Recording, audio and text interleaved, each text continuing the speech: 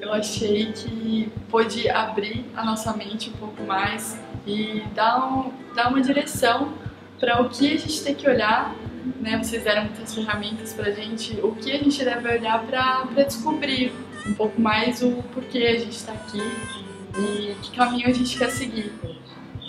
Acho que eu saio com, com mais clareza de quem eu sou é, e do que eu quero para mim, que eu quero para minha vida, o que eu quero deixar aqui no mundo para as pessoas. Follow, follow the sun,